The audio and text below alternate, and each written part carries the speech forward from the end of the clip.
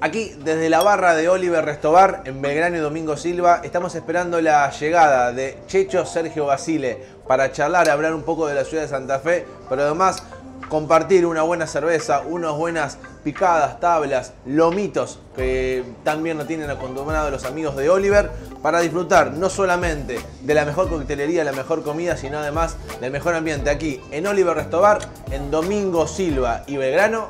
Lo recomiendo.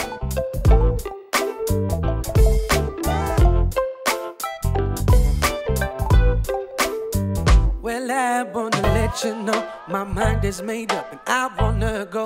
And I've been thinking about what to do. Been thinking about me, about being you. For a long time, I tried to find reason to stay here in this cage of mine. Well, I, I don't need no borderline. I, I don't need that frame of mind. Let me tell you, I don't need nobody, nobody but me.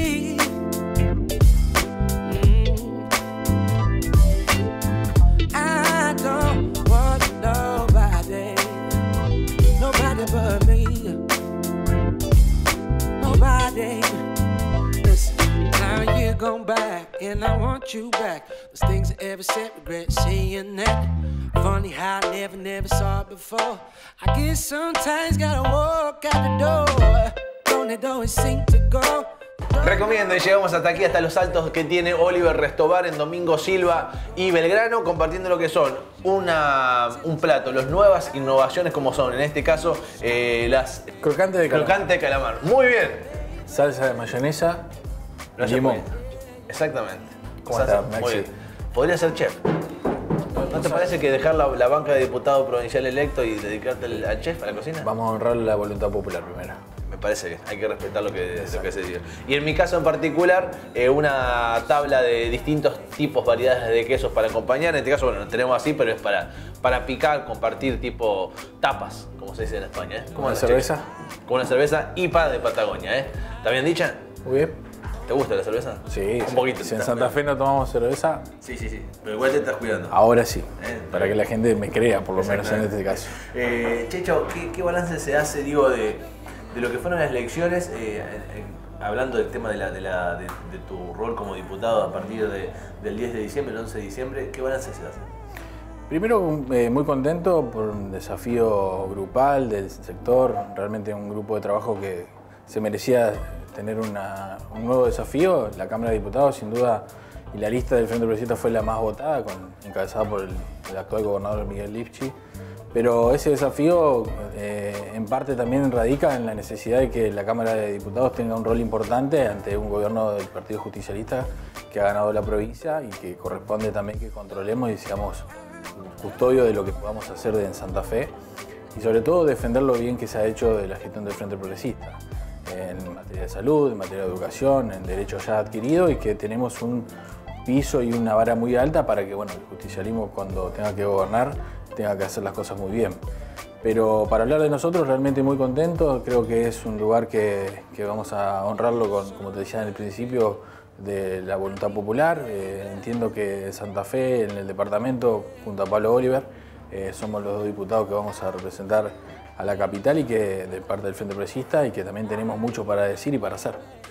Además, Checho, hay algo muy importante que digo, no se pierde el, el lugar y el sector de ustedes en el Consejo Municipal también, porque bueno, me acuerdo eh, cuando decíamos una nota en otro restaurante con, con Laura Espina, va, va a entrar en el Consejo Municipal. Sí, será concejala de la ciudad en reemplazo de Emilio Jatón, el candidato a intendente más votado, casi récord, eh, que también es otro desafío que queremos colaborar, queremos consolidar la gestión de Emilio en Santa Fe, porque hay equipos, porque hay profesionales, sobre todo hay una militancia muy comprometida y que Laura va también va a contar con un apoyo y un respaldo no solamente del grupo que va a acompañar en el Consejo, sino también de mi parte y de Jorge Gen, que ha hecho una gran eh, campaña como precandidato a senador, así que realmente es un desafío enorme lo que viene, también lo vemos como una oportunidad, Eh, la gente sabe cómo hacemos política, cómo nos manejamos, cómo hacemos y decimos eh, lo que vamos a, a manifestar desde una banca, pero también con mucha cercanía. Eh, comenzar con lo que ya veníamos tomando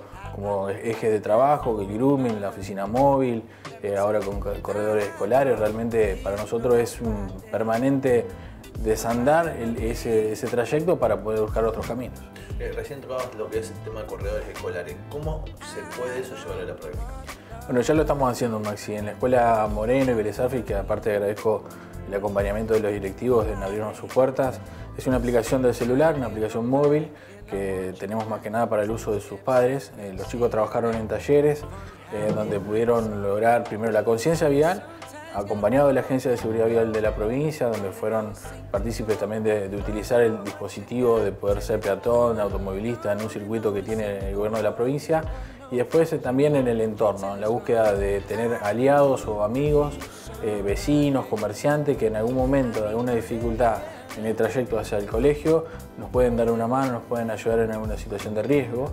Y sobre todo, como te decía, desde la aplicación ver el trayecto previamente cuando estamos saliendo de casa para saber si hay un corte por bacheo.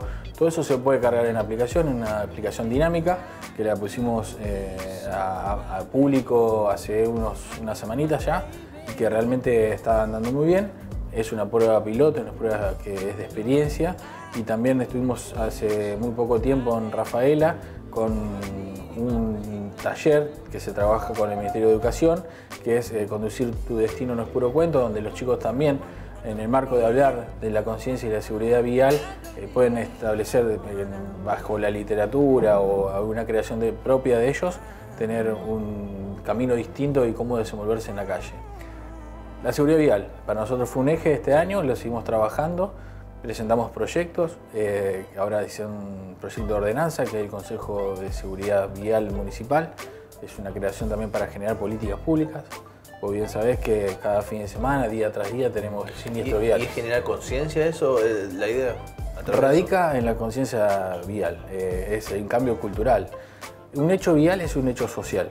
Cuando hablamos de hechos sociales es convivencia, es espacio público, es movilidad urbana, es cómo nos interrelacionamos, esto de tener, bueno, yo sé que cuáles son mis derechos como peatón, como automovilista, cómo puedo fortalecer el transporte público en Santa Fe. Todo eso hace un plan integral. ¿Qué es lo que queremos con el Consejo? Que haya universidades, asociaciones y el Estado municipal primero como garante para poder reunir todo ese material y definir en un mapa de riesgo, bueno, dónde son los lugares más conflictivos en siniestros viales y sobre todo poder definir políticas públicas orientadas a tener una mejor calidad. Sí, porque yo digo más que nada, y está muy bueno lo que haces con el tema de, eh, los más chicos, porque después los más chicos, los, eh, digo desde los 6, 7 años, eh, digamos, primer grado, generan y fomentan esa cultura, se la transmiten a los padres. Cuando los padres están, están se suben al auto, le dicen, papá, deja el teléfono, agarra el teléfono. Es una forma de, reeducar por parte de los más chicos los más grandes, ¿no? Se da la, inversamente. Sí, yo tengo la idea de que los chicos son los principales agentes que se apegan al control, aparte que se apegan al control de la regla, son muy apegados a la norma. Los adultos ya no, porque tenemos otros vicios, otras formas culturales y otra construcción social también. Pero es importante esto, ¿no? De que sean agentes que nos controlen, que estamos en el auto, cinturón, no hable por celular, eh, o, o, crucemos por la esquina. Son cuestiones que radican el cambio cultural, sobre todo desde la educación, pero creo que no hay que perder de vista lo que está pasando. En Santa Fe es una problemática muy importante, creo que hay que tomar cartas en el asunto, desde nuestro lugar, desde el Consejo tenemos herramientas, eso lo estamos poniendo a disposición para que el resto de los concejales lo pueda discutir, porque no pensar otra cosa, pero también buscando la cuestión lúdica, pedagógica, de apostar a los chicos en las escuelas, en donde realmente tenemos acompañamiento de las instituciones y sobre todo con la Agencia de Seguridad Vial Provincial. Bueno, hablábamos de los más chicos y lo del tema de grooming con los más grandes, me, tocó vivirlo eh, en carne propia con mi hija que, fuiste a la escuela y al, huerto. Eh, es también una forma, digo, de, aprendizaje, ¿no? Sí, es, totalmente. Y recién venimos de una charla ah, también. En el pozo. Eh, en el pozo. Así que agradecemos también. Hoy fue doble jornada, porque tuvimos la mañana en la escuela de Vélez y hoy en el pozo a la tarde, pero porque continuamos con este camino que entendemos que la prevención del delito informático que viene creciendo, que cada vez más hay casos cercanos en las grandes ciudades, pero sobre todo que sabemos que pasa en Santa Fe y que lo estamos tomando con mucha responsabilidad, como siempre, no solamente en el hecho de tener mayor cantidad de charlas, sino llegarle con un mensaje claro, que no hay que prohibir el uso de Internet, sino por el contrario, saber utilizarlo, tener herramientas de prevención, de cómo cuidarnos y sobre todo en los más chicos, los más pequeños, que tienen que cuidar su integridad física, su imagen, que no pueden subir cualquier cosa a la red, sí con el control de los padres. Bueno, Checho, un camino largo que le queda todavía. Un camino largo Digo, hasta diciembre. Te queda hasta diciembre y después de diciembre arrancar de nuevo como, como de- de- de- en este caso desde la Diputación, desde, desde la banca de, de la Cámara de Diputados. Sí, ya estamos pensando también eh, con el equipo algunas cuestiones para poder trabajar en los primeros meses de diciembre, después posterior a diciembre, para poder no solamente pensar, como te decía, de Santa Fe y la capital, sino hay leyes que creo que la provincia necesita, hay reformas que se pueden hacer, que se pueden plantear y que se pueden poner en el debate. Yo creo que la Cámara de Diputados también necesita de mucho debate, de mucha discusión política, con madurez, como siempre pretendemos, constructivo, propositivo, pero sobre todo teniendo una idea clara que era nuestro plan estratégico a 2030, que creo que tiene que ser nuestro eje. vertebrador para poder volver a gobernar y ser una alternativa mucho más importante de la que fuimos. Gracias, Checho, por estos minutos. ¿eh? Gracias, Maxi. ¿Viniste en el Checho móvil o no? Eh, estoy, está cerquita. Ah, bueno, lo, lo importante es eso. Está. Eh, siempre estuvo cerca, como Siempre estuvo cerca, ¿eh? siempre estuvo cerca. Con Sergio Checho Basile, charlando un poquito sobre el rol que va a tener desde el 11 de diciembre en la Cámara de Diputados, pero además sobre los proyectos, las ambiciones que tiene. Además, siendo joven, uno se motiva y se moviliza, no solamente a él, sino a todo el equipo para trabajar, para mejorar y tener una provincia de Santa Fe eh, aún mejor en lo que es la calidad de vida en lo que respecta a los santafesinos. Aquí desde Oliver Restobar compartiendo algunas de las nuevas eh, variedades de platos, de tablas, con una buena cerveza, donde además si no te gusta la cerveza puedes tomarte algún trago y si no, gaseosa ¿eh? o una pomelo. Por supuesto. ¿Eh? Cualquiera variedad para todos los gustos, familia, amigos, parejas y más, aquí en Oliver Restobar, en Belgrano y Domingo Silva, lo recomiendo.